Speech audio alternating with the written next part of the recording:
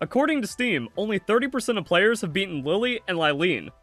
Oh, I got a rant about that skill issue at the end of the video, and also it seems like people need this kind of playthrough. So that's the goal of this episode. Last time we got tons of levels with the new Mercy Ring and upgraded our team, so let's take on Lily and Lyleen. Uh, so we mount, like, do we hit him with a flare arrow? Oh, actually, yeah. Get some of that damage down, get the burn, poison, and now, like, do I actually see damage? Oh, the handgun does damage. I was not expecting that much damage. Okay. Okay. After after what happened with like the Alpha Pals, I was actually worried where it's like, what, Lyleen's only going to take 200 from like a fire boosted headshot? Now we're just going to have Py Pyrin do all the work for us by being mounted up. And we run away from attacks and get our shields back. Okay, this is free. Easy. How is it that 70% of players have not beaten this? And then everyone's saying like, oh, there's no content in the game. There's no end game. Oh, it doesn't count, even though at the beginning of the game it says towers hold the key. This is literally bossing. Like, you have to beat Shadowbeak or you're not in the end game. Doesn't matter how much breeding you've done. Or breed if you quit before beating Lyleen. Y'all suck.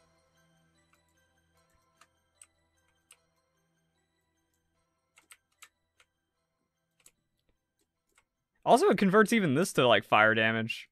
It's like, get a fire bow poison hit if I'm not Skishu. That also ticks for good damage, and then if shenanigans happen, we get a burn down. Ow. Okay, we we hurt. We don't want to lose Pyrin, though. Charge over. Burn them. Do that. Bow. Yeah, and we just wreck. We put 4,000 damage in in the dome real quick. Doing fine. Pyrin, Pyrin could just go without taking that many hits. Reload.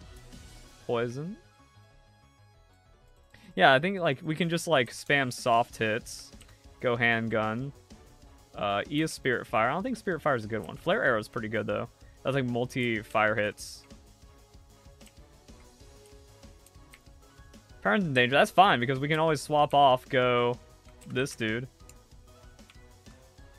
who also gives us fire hits.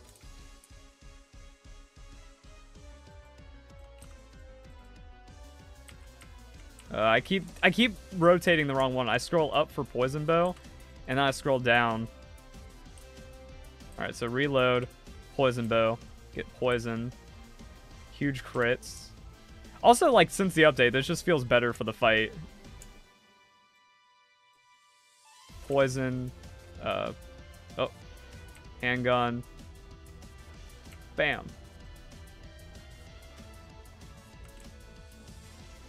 Yeah, so you do a clip, you switch, and then you get poison.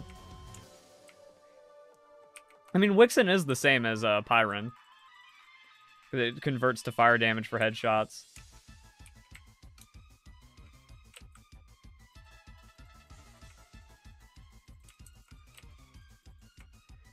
doing I was about to say we're doing better, but I just I just like tanked a ton of hits. So we're low again, and we might have a Skishu.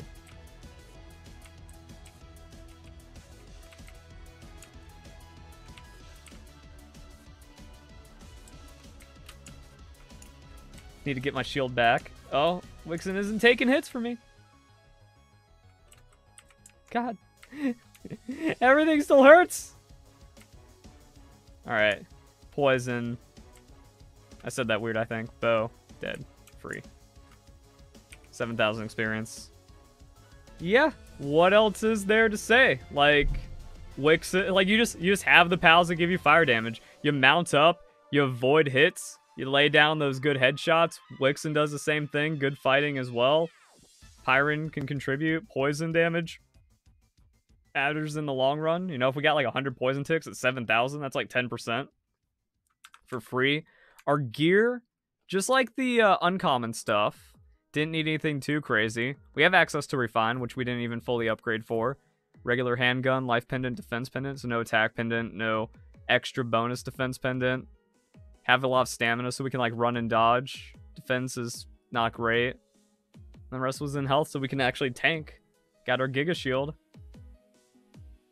Boom. Favorite pal. Uh, where is he? Him.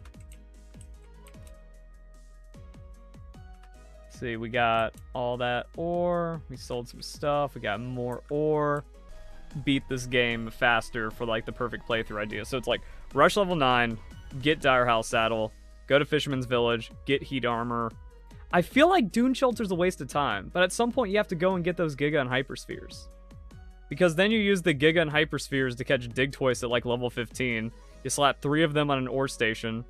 I don't even know how many Digtoise you want. Like, do you actually catch like five Digtoise? You put two on the ore, three, or no, no, three on the ore, two on a rock quarry. Done. You never need to touch that again. They're just going to be like perma mining. Then you just get whatever other pals you've caught for experience, put them on the uh, woodcutting, and you don't you don't build anything else out in the base, right? Use Vanwyrm to get your Lifmunk effigies. Maybe max catch rate. If not, just go for like an hour or something. Then at level 30, you immediately get yourself a Pyrin. And like that's the thing about Pyrin. Like once you get Pyrin, that's when you go to the desert and you can just like run through the desert and open all those chests. So you catch all the pals here and then you catch all the pals here. And then using Pyrin is like free for this area. The species out here are kind of weird, but that's what you like. You go down here and you catch them all here. It's like the Woolipop and the uh, Mozzarina and stuff. Get yourself some Univolt. Like, do we want... How much better is Univolt than Dire Howl? Dire Howl's 800 running, 1050 mounted. Univolt's 720 running, 1100. Like, yeah, Univolt's not better. Especially if you get just like a Swift Dire Howl or something.